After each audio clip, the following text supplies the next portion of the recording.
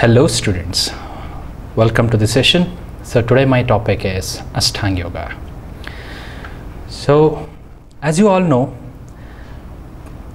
the Patanjali Maharshi had a fourth view regarding the sufferings of the people. So 5000 years ago, he has been able to understand and give the proper lifestyle through the practicing of Ashtanga Yoga. The Ashtanga Yoga has been divided into two forms. One is Ashta, that is eight, and Anga means the limbs. So it is totally joining together. It is called as the eight limb path.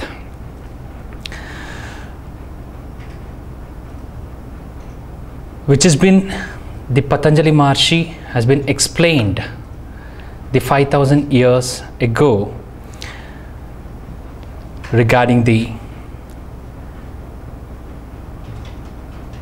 complete lifestyle of a human being by his philosophy called as the darshana. In the short scripts he has been explained how the systemic changes of our practices for uh, stimulating the natural capabilities of the inherent within the human nervous system by purification direct realization which leads to the enlightenment. So when you think about the enlightenment so it has been observed that severe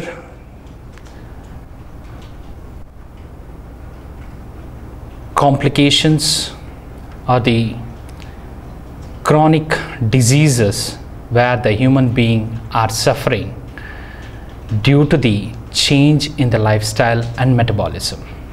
So to get back the normal lifestyle or the proper lifestyle so he has been given a checklist assessing the completeness of the literally any spiritual path by practicing the ashtanga yoga.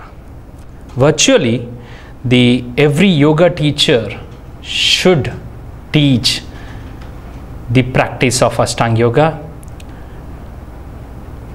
which is very easy and also it's a logic. So very easy to understand and also it is a logic one so it conveys everything in one can do the do in the yoga. So automatically it has been explained that the each and every person who is practicing the ashtanga yoga will be representing a complete round map or a blueprint of spiritual checklist of the various methods for the opening of the human nervous system to divine experience. So as i told you in the first itself the yoga is reaching from the atma to paramatma. So here the atma to paramatma reaching to atma to paramatma is due to eight fold paths so which are those eightfold paths? So yama niyama asana pranayama pratyahara dharana dhyana samadhi. Okay? So this he has been explained. This he has been explained in the sutras.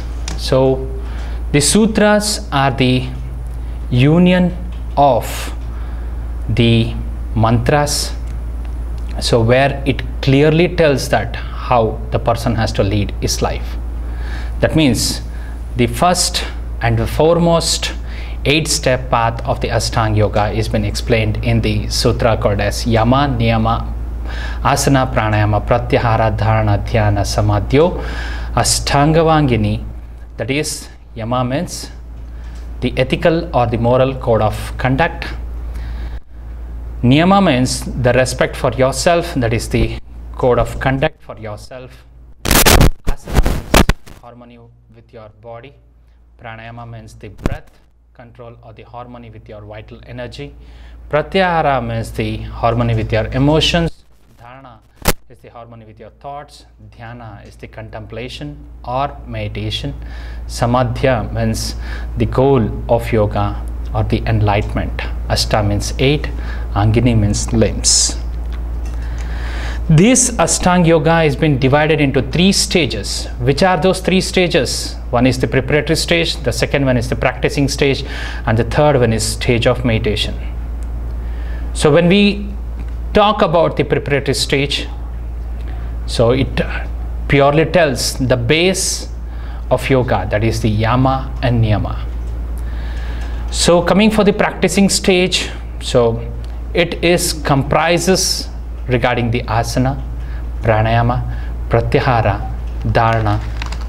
Okay, so coming for the stage of meditation, it clearly tells about the connecting link between the inner stage of Ashtanga Yoga, that is the dharana, dhyana, and samadhi. So these eight stages have been divided into three sadhanas. The first one is the Bahiranga sadhana, the second one is the Antar Bahiranga sadhana, and the third one is the Antaranga sadhana. So, which are the Bahiranga sadhanas? Basically, which is also called as the Karma Yoga. So, the Bahiranga sadhanas are Yama, Niyama, asana and pranayama whatever the practice you are going to do that will be able the people can able to see you what you are doing so it tells that it is the chitta and vritti. Okay. So the Bahiranga sadhanas are yama, niyama, asana, pranayama. So whatever you are doing externally, the people can see you, the changes and what you are doing and they can see the changes. The next one is the Antar Bahiranga sadhana. So that is the Jnana Yoga so which tells about the pratyahara and dharana. So the pratyahara and dharana which is a bridge between the bahiranga sadhana and the antaranga sadhana. So you are doing the practice of something but the people can be able to see you or they can not be able to assess what you are doing.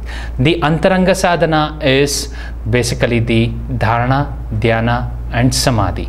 So dharana, dhyana and samadhi is the inner that is called as the bhakti yoga which leads to the spiritual uh, performance so whatever you are doing that is you are able to practice inner view. That is the antaranga. That is inner view. You can practice it.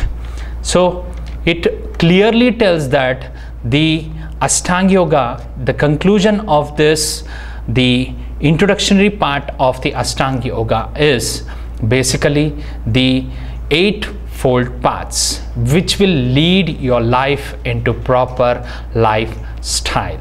Okay, so which are those eight parts? That is the Yama, Niyama, Asana, Pranayama, Pratyahara, Dharana, Dhyana and Samadhi. So students, we have seen the introductory part of the Ashtanga Yoga.